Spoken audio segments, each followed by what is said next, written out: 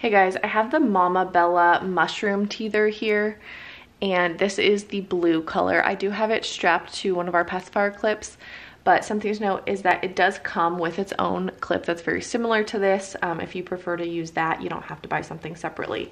Um, ever since we bought this for my son who is teething, he is obsessed. Um, something about the way that this is shaped and the way that he can kind of suck on this like a pacifier. Something about the shape of this he just absolutely loves um, how this is contoured on the top and the silicone feel. It's super soft.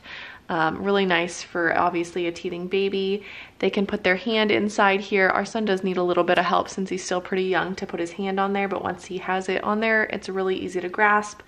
Nice and thin inside here and it's really easy to get his hand on there because you can just pull this up, put his hand on, and then it just pops right back down and he can easily put it in his mouth and there's no issues there.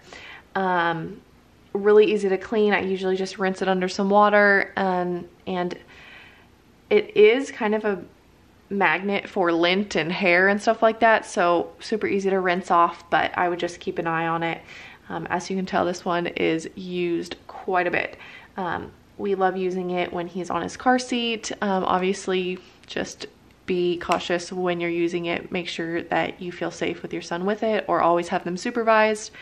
Um, but highly recommend this teether. It's great.